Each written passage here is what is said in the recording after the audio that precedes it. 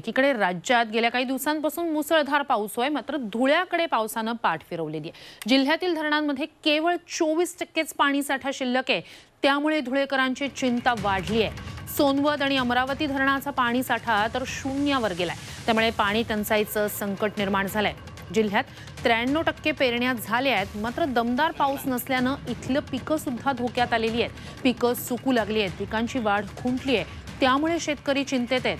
सर्वाधिक बिकट परिस्थिती शिरपूर तालुक्याची आहे. या ठिकाणी सरासरी साठ टक्क्यांपेक्षा कमी पाऊस झालाय. शेतकरी आता आकाशाकडे डोळे लावून बसलेत.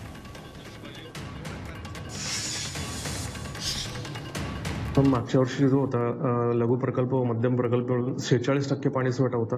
तो आज रोजी चोवीस टक्के पाणीसाठा आहे. तर आपण पिण्यासाठी जे आरक्षित पाणी राहील त्याच्या व्यतिरिक्त जो पाणी शिल्लक राहील त्याच्यावरती आपण रब्बीचं नियोजन करणार आहोत. आई भवानीचा गजर म्हणजे